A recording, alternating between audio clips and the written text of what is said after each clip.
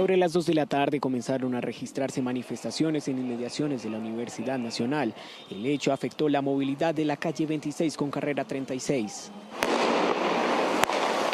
Sobre las 5 de la tarde comenzaron disturbios frente al campus universitario, enfrentamientos entre la UNDEMO y cerca de 10 encapuchados. Por el hecho, la movilidad colapsó. Nos perjudica a todos a esta hora pico donde la gente está saliendo a trabajar, todo eso. Pero bueno, ahí vamos.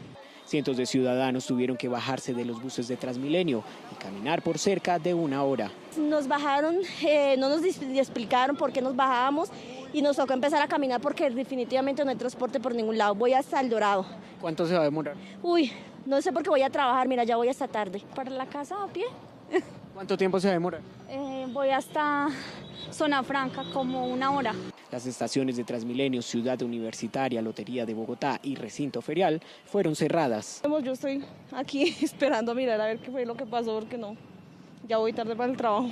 Para los vehículos mixtos el tráfico también se complicó. Horrible, horrible porque uno sale de trabajar y ni siquiera sabe que se va a encontrar con estas cosas. Yo vengo desde la Cali casi y para llegar acá me tocó hacer una cantidad de vueltas porque la 26 está cerrada en la parte de arriba. Pues está pesado, está pesado, debería haber pues, un plan de movilidad para este tipo de cosas, ¿no? A las siete y media de la noche se normalizó el flujo de movilidad en el sector.